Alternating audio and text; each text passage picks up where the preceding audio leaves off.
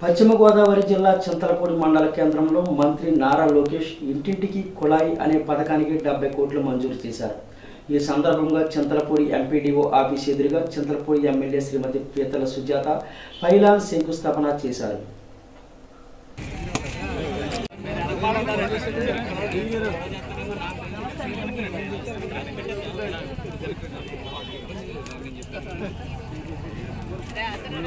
నాయకత్వం! చంద్రబాబు నాయుడు గారి నాయకత్వం చంద్రబాబు నాయుడు గారి నాయకత్వం లోకేష్ బాబు గారి నాయకత్వం లోకేష్ బాబు గారి నాయకత్వం